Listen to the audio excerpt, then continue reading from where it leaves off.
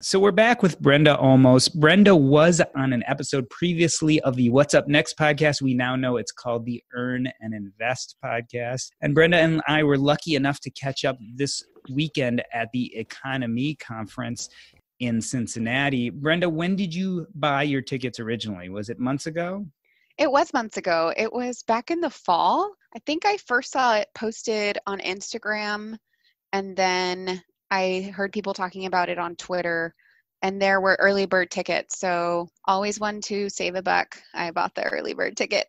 and this is not close for you. What drove you to decide to come to EconoMe? Well, I'd never been to Cincinnati, and I always like to have a good excuse to go to a new place. I figured that a lot of the people that I knew from Twitter and from other social media places were going to be there. And so I wanted to meet them in person. Are you a big conference goer? I'm not actually. Well, I guess I started this year after I went to Camp FI and I was really encouraged and I really liked it. And so I thought this would be another way to meet people who are on the same path. Did you find this to be a very different experience than Camp FI? Camp FI is a little bit more of a small setting. You have 50 or 60 people. Did this feel very different? Yes, it was very different. There were a, there were a couple hundred people, I think, and there wasn't as much one on one time with people, but I still got to have quality time with the people that I wanted to meet in person. And it was good to see a big group like that because sometimes you think, oh, it's just this very small niche of people. And to see a couple hundred was encouraging. In a lot of ways, EconoMe somewhat reminded me of a TED conference. Yeah. The speakers were maybe shorter 20 to 30 minutes. And as opposed to the kind of didactic that you get in some types of conferences this was a lot more lectures and talks. Uh, did you like that format I did. I wasn't expecting that. I was expecting it to be a little bit more interactive, but I did like that they were short and sweet. It never felt like a lecture, and I felt like the speakers got their point across pretty quickly and you knew what they were going to be about. But the format was good for a one day presentation. And I actually heard a couple people say, like, I'm glad it was just one day because if it's more than one day, I just kind of zone out or like it's too much information overload. And there were some breakout group sessions. Did you go to one of the groups in the middle of the day? I think there was a two hour period where various sessions were open, which is a little bit more of a groups discussion format. Right. And maybe that's why I felt that there wasn't that aspect because I actually went to the Playing with Fire documentary showing because I hadn't seen it yet. Uh, what did you think? I liked it. I liked it. It was a practical application of the fire movement in a couple that is kind of like the stereotypical American couple with all the stuff and all the money and yet no time. Speaking of prototypical couple, one of the things that amazed me about the EconoMe conference is the speakers and a lot of the participants were not your typical Caucasian male engineer, financial independence, and personal finance stereotypes. There really were a lot of different types of people there.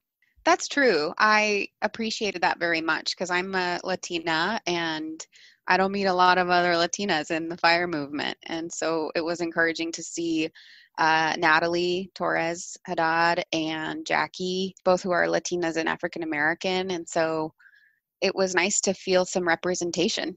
I think Diana Merriam was very thoughtful about what types of speakers she had uh, because mm. she really felt like the financial independence movement was a very varied and diverse movement. And sometimes it's hard to see that.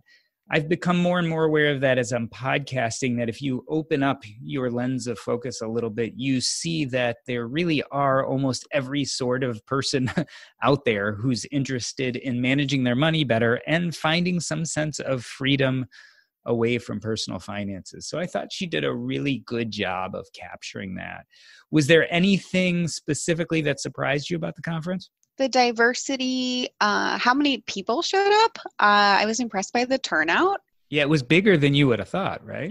Yeah, and it was actually like she went a lot bigger than I thought she would. The venue was really big, it was really well decorated. There was a lot of stuff with the EconoMe logo, down to the little footprint stickers, and just like a, lot of attention to detail that had I started my own conference like the first year, I probably wouldn't have gone in that direction. But it was just so thoughtful and it went a long way, I think. You know, even like the after party, she just did such a good job with the venue and the band and just creating a good ambiance for people to talk and it's so nice to be able to be around people who are open about finances it's like a breath of fresh air yeah people who aren't there would be surprised at how professional it was. It was a beautiful stage. She had mm-hmm. her own lighting people, she had a stage manager, right. she had a DJ. Kind of an insider view. We, as the speakers, came the day before and did a five and a half hour rehearsal and we didn't wow. even go through our talks the rehearsal was all about transitions to make sure that the music was right that the microphones were right that all of the pieces were in place, it was fairly exhaustive. You wouldn't have known that as an attendee, but as one of the speakers, I will tell you that there was an incredibly large amount of thought that went into making it look and feel seamless.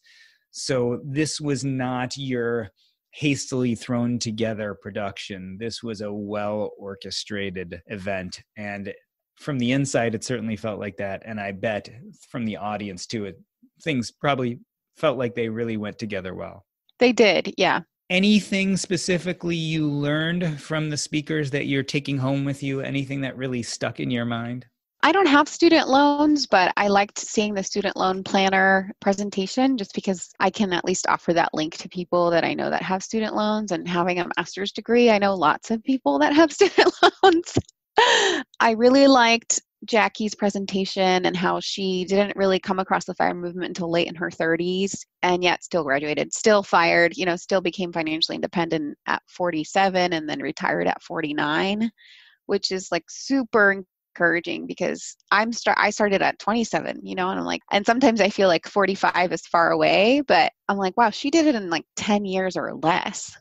That's incredible. You know, and she wasn't making six figures. So that was awesome. And then it was really great to meet Julian and Kirsten Saunders. I got to talk to them a little bit. We got to talk about you know minorities in the fire movement and how a lot of us we didn't grow up with these principles and so we're learning them in our adulthood and we're not just learning personal finance but we're going a little bit further and pursuing fire and i was really impressed by julian's desire to see more black millionaires so to go through some of the things you said, so for the student loans, that was Travis Hornsby, and if any of you guys know him, sometimes he seems quiet and mild mannered when you see him out socially, but when he gets up to give a talk, he is just out there and exuberant and excited by the conversation. Yeah. And so he was a lot of fun and he was incredibly funny, but he also presented rapid fire a huge amount of great information about the numbers behind student loans. In fact, you know, he went as far as saying that you know you either pay off your student loans as fast as you're possible or you don't but there's no in between and he went through all the math and why that makes sense mm-hmm. i have to say i pretty much enjoyed everyone's talk it was great hanging out with julian and kirsten I am not big on the minimalist movement, but Rose Lounsbury was there too. Mm-hmm. And she was really enlightening on the minimalism movement and how it plays a role. And there's a natural fit with financial independence and minimalism. And mm-hmm. it was nice to see her at the event. She gave a fantastic talk, as did everyone else. I really enjoyed Jackie's talk she brought her daughter along too. So if you know Aww. some of Jackie's content, she talks a lot about teaching her daughter and the letter she wrote to her daughter. And just so to see her daughter there as she was up on stage giving this talk uh, was just a really proud moment, at least for me watching on. And I will definitely remember those things from the EconoMe conference. So, wrap it up for us. If someone's thinking about going next year, because Diana has said there's going to be one next year, what would you tell them? I would tell them absolutely go. Rack up your points right now so you can get your flight there. Uh, there's a travel hacking break off session. So if you want to learn about that, that'll be there. And there's nothing like being around people who are like minded, especially on a path that to the average person seems really difficult.